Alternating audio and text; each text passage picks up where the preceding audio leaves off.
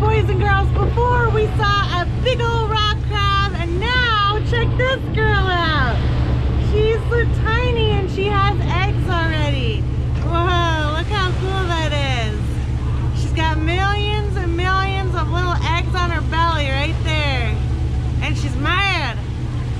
Look at that. Look how tiny she is. Yeah.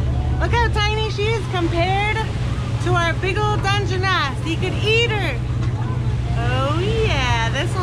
Oh. as well as this one.